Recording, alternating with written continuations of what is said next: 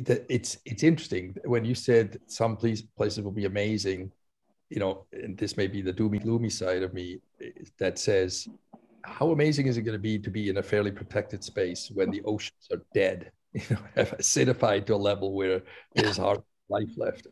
You know how how comfortable is it going to be when there's no more food grown and whatever? You get my point. It's it's it's you know it's gonna be it's gonna be wild.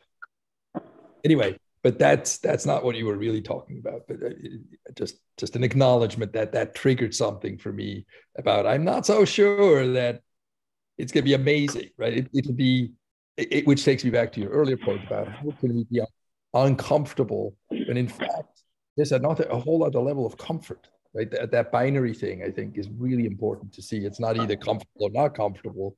It's a new level of comfort. I mean those of, of us who go to burning man we know that right? It's it from some perspective it's super uncomfortable and from another it's incredibly beautiful and special and anyway thanks for that. That's great